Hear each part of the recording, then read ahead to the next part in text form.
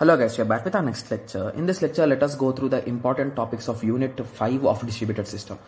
Okay, so the first part of distributed system in this topic we discussed about the coordinate coordination based systems right? If you recall yes.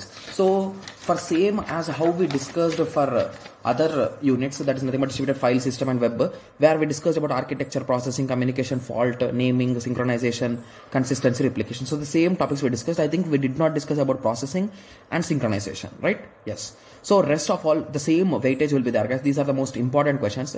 So basically we are not having specific important questions. I'm just giving you according to my knowledge guys okay?